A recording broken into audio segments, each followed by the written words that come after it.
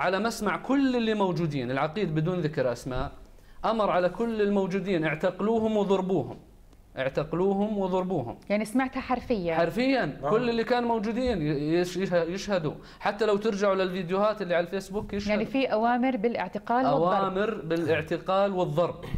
والإعتقال إحنا عارفين وإحنا واعيين كمان. كان الإعتقال انتقائي اللي قاعدين يحكوا.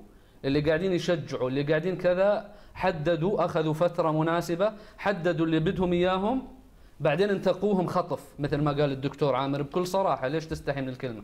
هي كانت خطف فعلا يعني. ورمونا بالباصات أخذونا أنا تمزعت أواعيه حتى يمكن يشهدوا الشباب ومبين بالفيديو أخذونا على المركز الأمني.